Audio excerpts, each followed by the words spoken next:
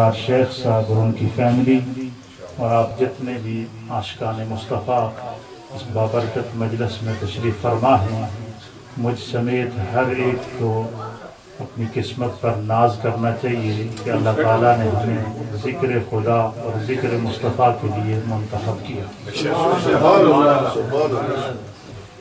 अल्लाह की प्यारी हबीब लबीब नबी रहमत सल्लल्लाहु अलैहि वसल्लम की बड़ी प्यारी हदीस याद आई। हज़रत उस्मान बिन हनीफ रदी अल्लाह तआला हदीस के रावी हैं कि बारगाह मुस्तफ़ा सजी थी। हजूर सलाम सहाबा इकराम के जुर्मट में बैठे थे। एक हाला बना हुआ था। सरकार जलवा फरमा थे। उस मजलस सहाबा में एक सहाबी रसूल थे। जो आँखों से नाबीना थे। उनकी आँखों में बीनाई नहीं थी। और महफिल अपने अरूज पर थी। अब आप अंदाज़ा लगाएँ उस महफिल का क्या आलम होगा कि सरकार तशरीफ़ फरमा है? इर्द गिर्द सिहाबा इकराम का एक झुरमट है। तो वो बचपन से नाबीना थे। और हमेशा सरकार दो आलम सल्लल्लाहु अलैहि के साथ रहते थे।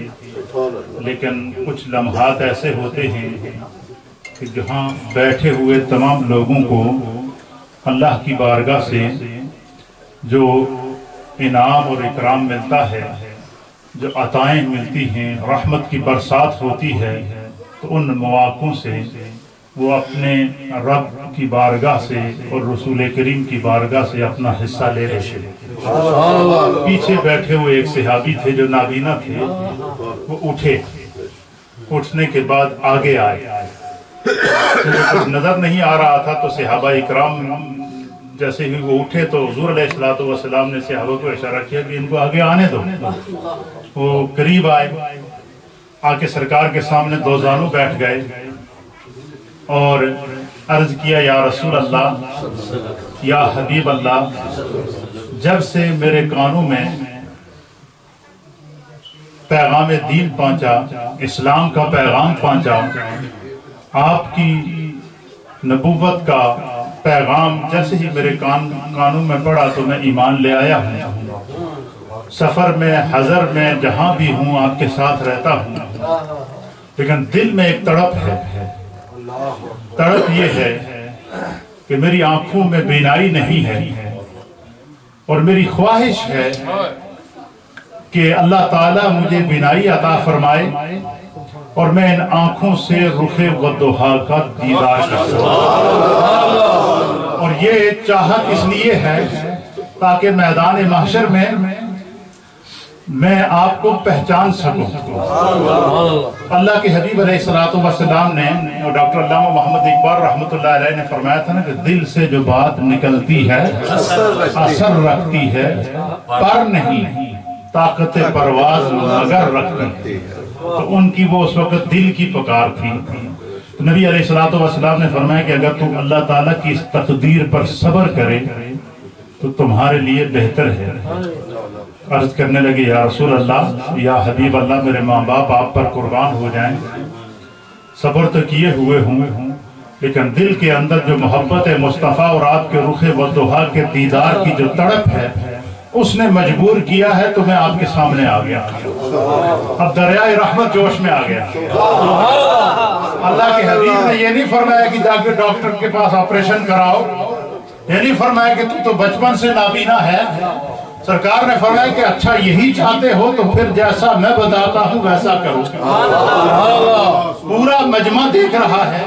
सुनने अबू दाऊद की हदीस का एक मतन का तर्जमा आपके सामने पेश कर पूरा मजमा देख रहा है। सिहाबा इकराम बरताए हैरत में हैं। अल्लाह के हबीब ने फरमाया कि जाओ इनको ले जाओ और ताज़ा वज़ू करके वापस आओ। वो गए? ताज़ा वज़ू करके वापस आए। अल्लाह के हबीब ने फरमाया कि जिस तरह मैं बताता हूँ, इस तरह करते हजूर ने फरमाया कि किबले की तरफ़ खड़े हो जाओ। खड़े हो गए। सरकार ने फरमाया, दो रकात नमाज़ सलातुल हाजात पढ़ो। वो नमाज़ पढ़ रहे हैं। हजूर सलाम देख रहे हैं। मजलिस में बैठे सारे सहाबा देख रहे हैं कि आज एक एक आशिक को सरकार दो आलम सल्लल्लाहु ताला अलैहि अलैहि वसल्लम बिनाई अता फरमाए।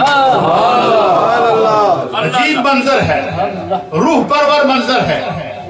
नमाज़ अदा की। अल्लाह के हबीब ने फरमाया अब हाथों को बुलंद करो। हाथों को बुलंद किए।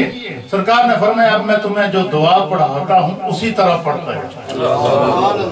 हजूर ने फरमाया कि अल्लाह की बारगाह में दुआ करो के बारे इला मैं तेरी बारगाह में तेरे हबीब नबी रहमत जनाब सैयदुल मोहम्मद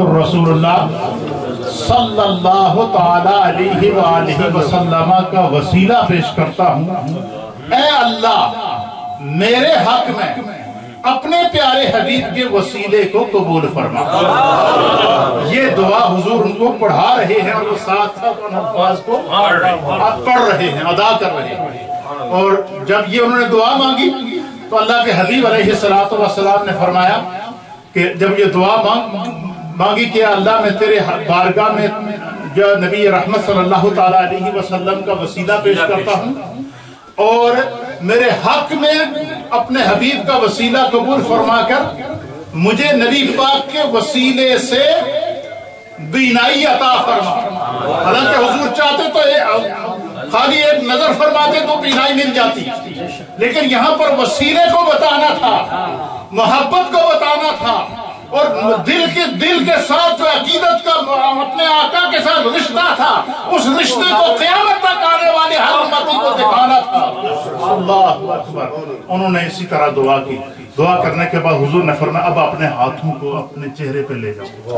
हाथों को चेहरे पे ले जाओ। हुजूर ने फरमाया कि हाथों को अब आहिस्ता आहिस्ता नीचे लाओ। नीचे लाते गए नीचे लाते गए जैसे ही हाथ नीचे आए तो कहने लगे अल्लाह अकबर। हुजूर ने फरमाया क्या? फरमाया या रसूल अल्लाह अपनी आँखों से आपके चेहरे बदुफा को देख रहा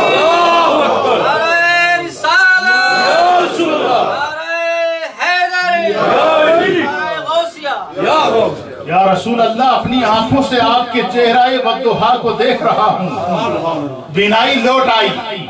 अल्लाह के हबीब अलही सहाबा इकराम कहते हैं, हज़रत उस्मान बिन हनीफ कहते हैं सही, और दीगर से हवा इकराम कहते हैं कि हमने इस अमल को नोट कर लिया।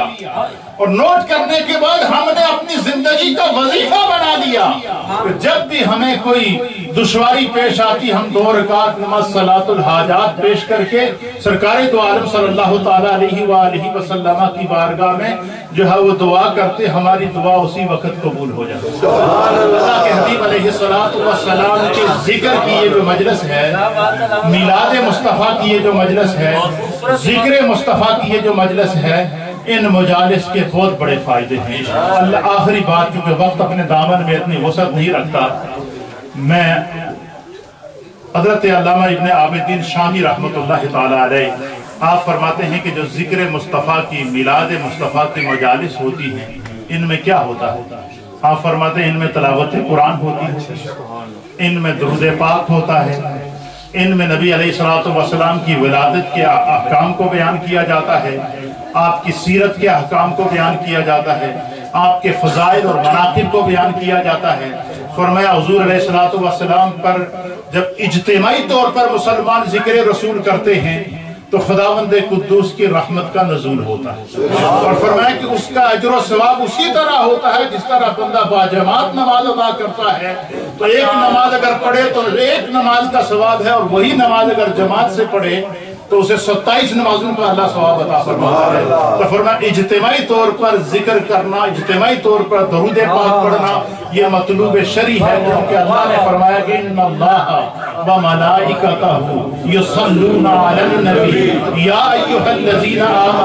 सल्लु अलैहि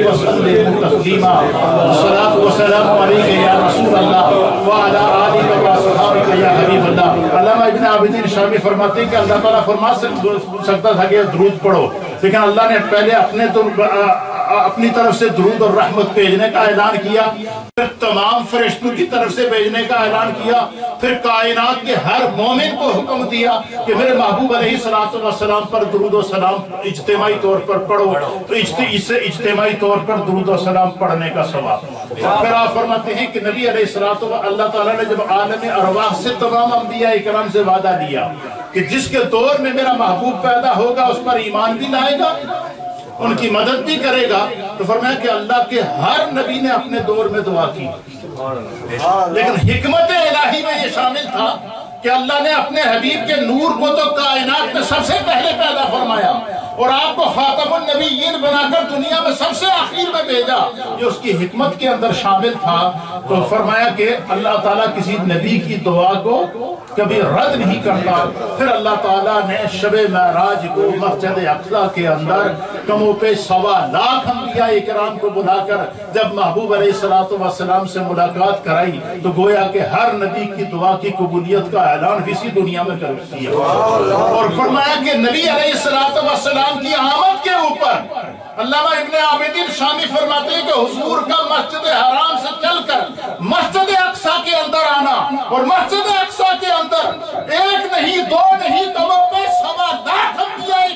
का इज्तिमा मौजूद होना और अजमत मुस्तफ़ा, रिफत मुस्तफ़ा और मकाम मुस्तफ़ा का इजहार अल्लाह की तरफ़ से करना गोया कि ये बताया जा रहा है जिस तरह महबूब का ज़िक्र अल्लाह ने बुलंद किया है, इसी तरह रब चाहता है कि महबूब के ज़िक्र की मजलिस में भी ऐसे लोगों को बुलाया जाए जो अम्बिया की जमात हो। तो अल्लाह ताला ने जब ज़िक्र महबूब को दिखाया, मकाम मुस्तफ़ा को दिखाया, अजमत मुस्तफ़ा को दिखाया, एक नहीं, दो नहीं कमों पे सवा लाख अम्बिया इकराम का इस्तेमाल पहले अरवाह अम्बिया का इज्तेमा हुआ।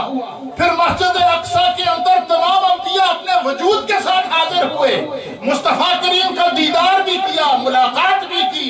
हजूर सलाम की इमामत के अंदर नमाज़ भी अदा करने का शर्फ हासिल करके ये बता दिया कि अगर नबी सलाम के ज़िक्र की मजालिस करना कोई बिदत या शिरक होता तो अल्लाह ताला इतनी पाकिजा मजलस का अहतमाम कैसे फरमा एक बात। दूसरा हम नबी सलाम की अजमत का जुलूस निकालते हैं।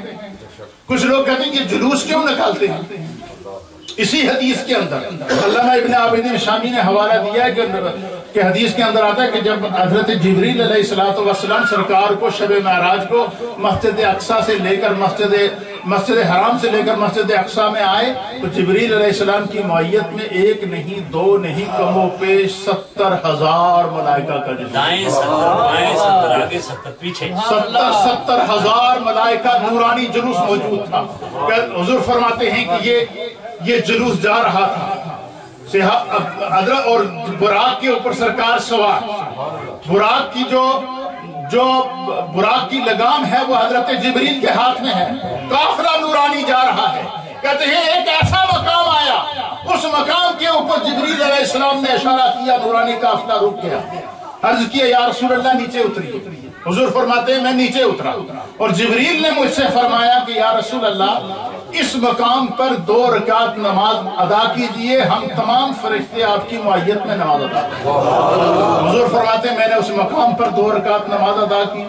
मेरे साथ जबरील ने नमाज़ अदा की, जो सत्तर सत्तर हज़ार फरिश्तों की जमातें थी, उन्होंने भी नमाज़ अदा की। एक बड़ा अजीब और गरीब मंजर था। सरकार फरमाते कि मैंने जबरील से पूछा कि जबरील, ये कौन सा मुकद्दस मकाम है?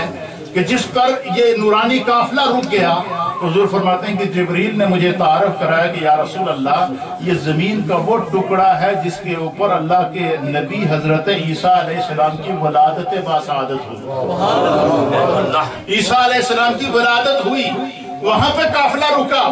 फिर अल्लाह के हबीब सलाम के मीलाद की अजमत का अंदाज़ा आखिरी बात अल्लाह जलालुद्दीन सयूती रहमतुल्लाह ने खुसाइसुल कुबरा में बड़ी ईमान अफरोज बात लिखी आप फरमाते हैं कि हज़रत सैदना इब्राहिम नबी सलाम को अल्लाह की तरफ़ से हुक्म हुआ कि हज़रत इस्माईल सलाम को और हज़रत हाजरा को आप हिजरत करके जो है वो मक्का की तरफ़ ले जाए और किसी जंगल में छोड़कर आ जाए।